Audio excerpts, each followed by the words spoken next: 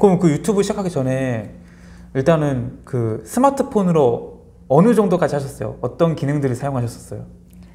보통 카톡만 사용했고요. 네. 그냥 친구들하고 뭐 어디서 몇 시에 만나 네, 뭐 네. 이런 거 그냥 유튜브 보는 거 네. 그냥 기본적인 타이핑 정도 네. 뭐 이제 키보드 치는 정도고 뭐 이런 거 뭐 찾는 거 네이버에서 검색하는 거 네. 이런 거 정도뿐이 못했어요. 음. 하면서 제가 강의도 많이 듣고 카페 네. 활동도 하면서 네. 조금 발전하게 됐어요. 지금까지. 컴퓨터는 사용하셨나요? 그 전에는? 유튜브 전에? 옛날에는 네. 제가 배우긴 했어도 네. 잠깐 한두 달 배우다 말아가지고 뭐 오래 안 쓰니까 또 네, 잊어먹었어요. 네. 어, 어, 잘 거의 뭐 모른다고 해도 과언이 아니었 었어요. 근데 네. 자꾸 하다 보면 내가 또 간절하면 네. 또 그게 하게 되더라고요. 그리고 어. 저도 또 파워포인트를 못하니까 네. 또 배웠어요. 그거를 음. 하는 거를. 음. 그러니까 배우면 누구든지 네. 젊은 분들은 더 잘할 수 있습니다. 음, 아, 이제 그러니까 컴퓨터는 이제 과거에 한 번 배운 적이 있지만 그 이후로는 거의 사용 안 했고 네. 스마트폰은 뭐 카카오톡이라든지 뭐 네이버 검색 정도 이제 네, 하셨던 네, 거고. 네, 맞아요. 야 그런데 이만 유튜버가 되시고 그 이제 본격적으로 유튜브 촬영과 편집에 대해 여쭤보고 싶은데 네. 그럼 촬영과 편집은 지금 어떻게 하고 계세요? 저는 이제 핸드폰으로만 하고 있고요. 네, 네, 네. 핸드폰으로만 사진 촬영을 하고 네. 아, 편집도 그거로 하고 자막도 어, 오로지 그냥 핸드폰으로만 하고 있어요. 음. 네.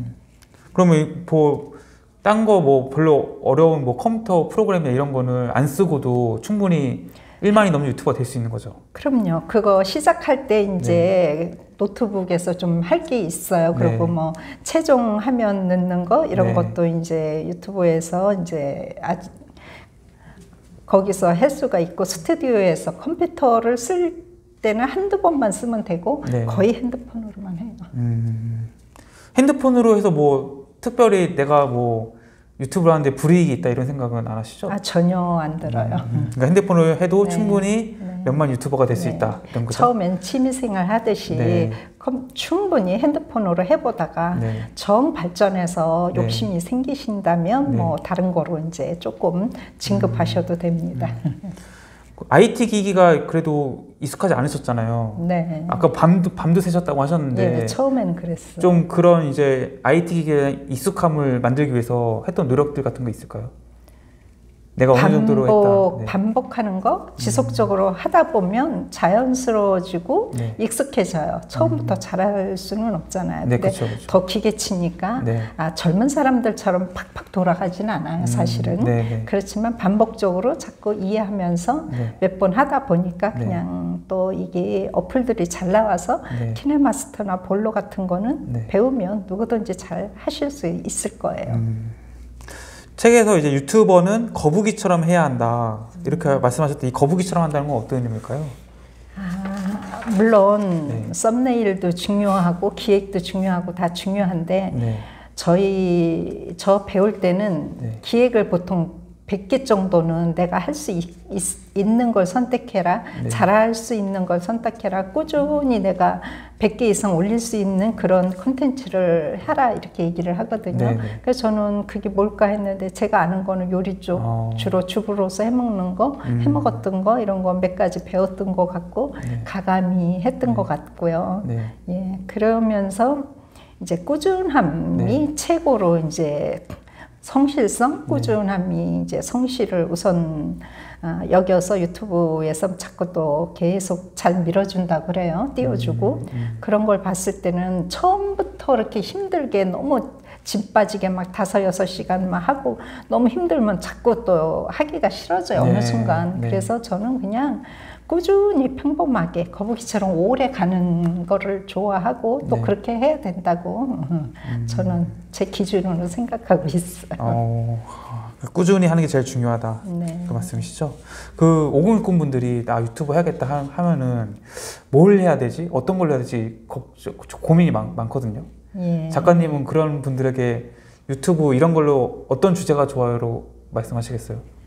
자기가 좋아하는 것을 우선 해야 되고요. 잘할 수 있는 걸 선택하셔야 되고 네. 좋아하고 잘할 수 있는 거는 꾸준히도 할 수 있다는 얘기거든요. 자기 관심 분야가 음. 네.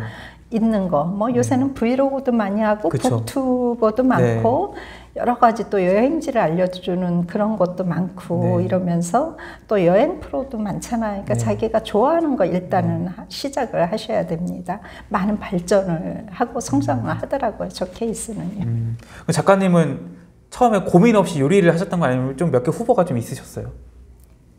저는 고민이 없었어요. 아, 나- 하지 나 않은 게 이제 아. 예. 요리라 요리 네. 쪽으로 해야 되겠다. 아니 근데 제가.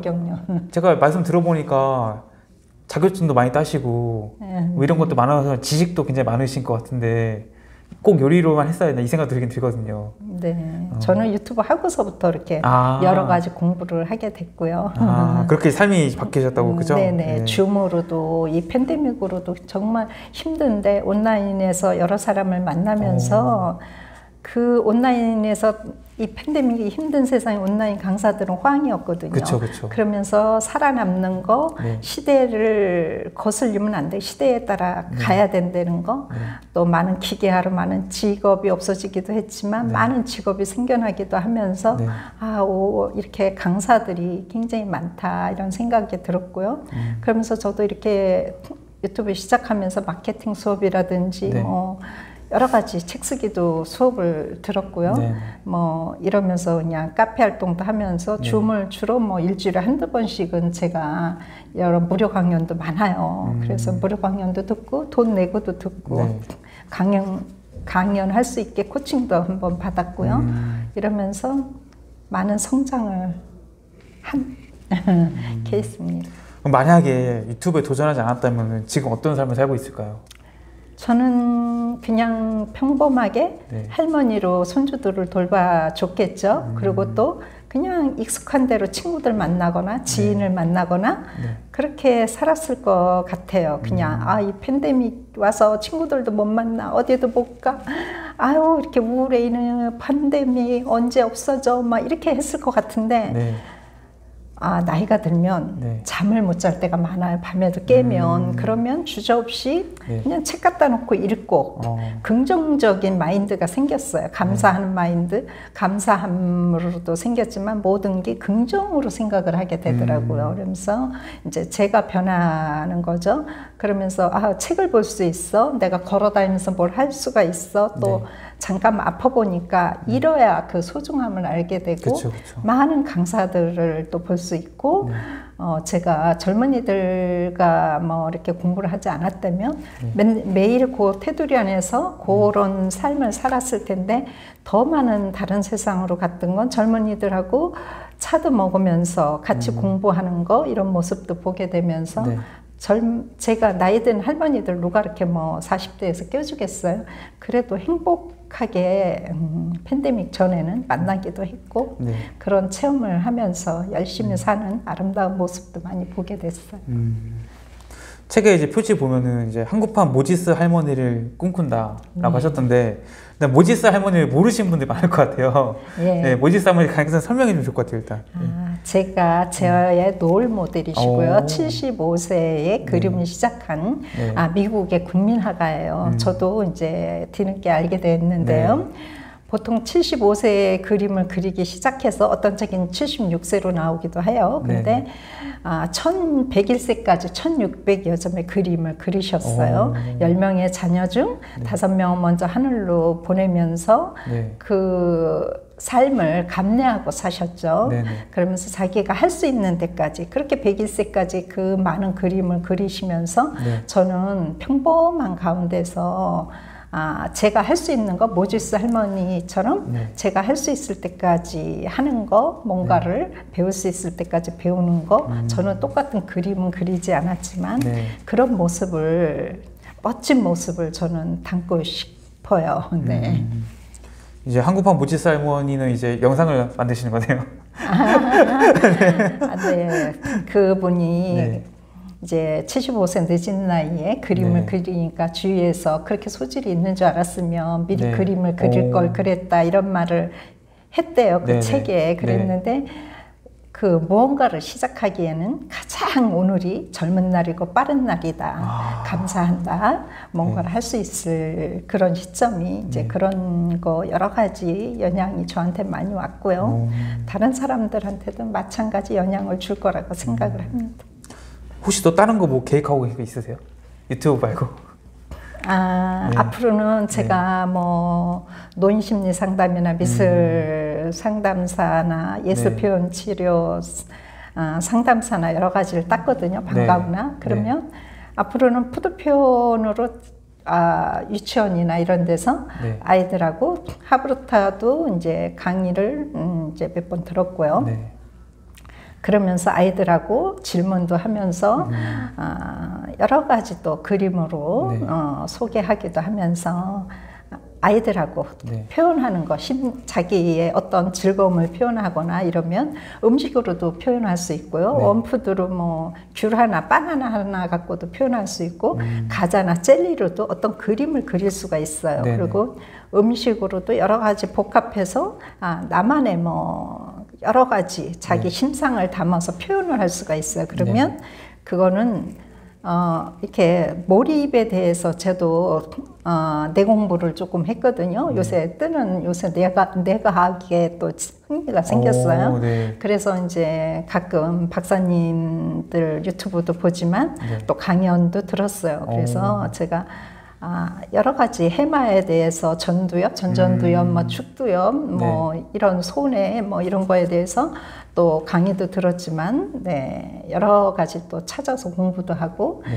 뭐 이렇게 상담하면서 뭐 칼 융의 책이라든지 오. 분석 심리학이라든지 네. 이렇게 읽게 되면서 와, 다방면으로 이제 어, 다양한 눈이 생기면서 네. 예, 아이들하고도 이제 접목해서 네. 조금 아이들한테는 가장 아까도 얘기했지만 허그 인정하는 거 뭐 이렇게 사람 어릴 때 그 사랑이 정말 중요하거든요. 네. 사람 성장하는데 그리고 먹는 것도 중요해요. 제가 네. 음식을 하지만 네. 제가 주말 농장에서 아, 그 제초제 없이 농약 네. 없이 이렇게 우리가 먹을 건 조금씩 하거든요. 네. 그런 소중함, 먹거리에 대한 소중함도 있고 여러 가지 첨가물이 장내에 여러 가지 안 좋은 영향을 주는 거 네. 그런 그 융 이런데 이제 안 좋은 것들은 이제 흡수가 안 돼야 되는데 흡수되면서 여러 가지 영향을 미치는 거 먹거리 자연 먹거리에 대한 중요성도 알게 됐고요. 음. 아, 정말 세상은 많이 알면서 네. 재미있고 알아가는 기쁨도 컸다고 생각을 해요. 그래서 제가 그 기회가 된다면 아이들하고 음, 표현하거나 뭐 네. 그다음에는 노인들하고 같이 네. 뭐 이렇게 젊게 살 수 있는 뭐, 뭐 박사님들이 치매에 대해서 많이 얘기했지만 네. 햇볕을 많이 봐야 된다든지 네. 자면서 깊은 숙면을 하면서 안 네. 좋은 아, 단백질이 흡수가 된다 든지 네. 뭐 할, 햇빛을 보면서 활동하는 거 안 하던 근육을 쓰는 거 이렇게 소근육을 쓰는 거 뭐 요새는 컬러링 북이라 그래서 그림을 그리 색칠하는 것도 있고 네. 색칠하다 보면 또 따라 그릴 수도 있고 자꾸 듣던 음악에서 안, 듣, 이렇게 안 듣던 거를 하면서 네. 아 뇌를 활성화하면서 치매가 더디 오고 뭐 경도인지 뭐 장애 이런 거는 금방 또 좋아지기도 해요. 완전히 고칠 수는 없지만 음. 네. 또 혈관성이나 뭐 사고로 인한 거는 없지만 거의 알츠하이머가 7, 80% 이상이니까 이왕 살아가는 거 음. 네. 조금 공부해서 자식들한테 도움이 될까 해서 저도 공부하면서 나름대로 저 열심히 운동하면서 실천하고 있어요. 그래서 어른들하고도 그런 얘기도 하면서 네. 이렇게 즐겁게 노인들도 아, 좀 변화해서 같이 즐겁게 활동할 수 있는 아, 코칭할 수 있는 데가 생긴다면 같이 또 코칭도 하고 오. 싶고요. 네. 아 진짜 웬만한 사람보다 더 열심히 배우시고 더 많이 활동하시는 것 같아요. 이렇게까지 활동하신 분은 제가 거의 못 본 것 같아요. 아, 더 많겠죠. 아 대단하십니다 정말. 작가님에게 도전이라는 건 어떤 건가요? 저는 살아가는 힘, 어, 저 배움의 갈증, 목마름 이런 것도 있고요. 네. 또못 보던 걸 아까 영화 얘기도 했지만 네. 보일 때 이런 거 감사 하게 다가왔어요. 긍정으로 생각하게 되고 어. 옛날에는 뭐 젊을 때는 정말 신랑들하고 잘 싸웠어요. 저도 네, 네. 그럴 때는 다름을 인정 못했던 것 같아요. 음. 지금 이렇게 나이 먹고 아.